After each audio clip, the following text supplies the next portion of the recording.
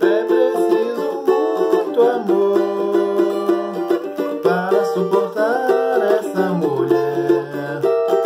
Tudo que ela vê é uma vitrine, ela quer.